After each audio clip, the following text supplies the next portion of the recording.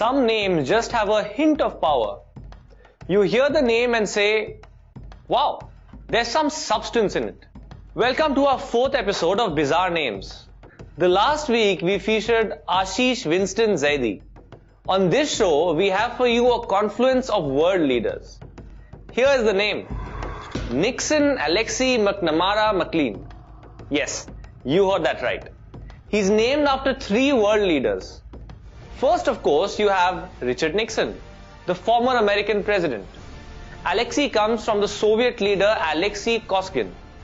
Lastly, there is McNamara, which is obviously it comes from Robert McNamara, who was the United States Secretary of Defense from 1961 to 1968. Our cricketer Nixon McLean was born in 1973 which means that he was born in the Cold War era. It is not in the interest of the German people or in the interest of world peace.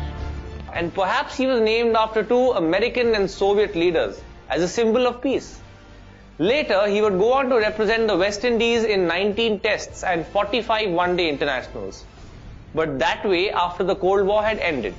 Now here is where it gets interesting.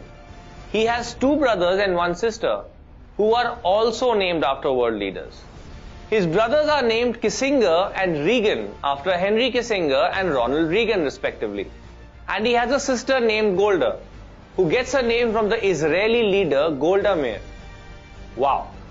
So, we had a world conference here on Bizarre Names this week. Do tune in next time